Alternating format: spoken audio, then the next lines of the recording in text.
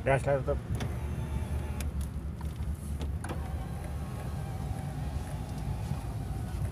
Ayo kita pulang.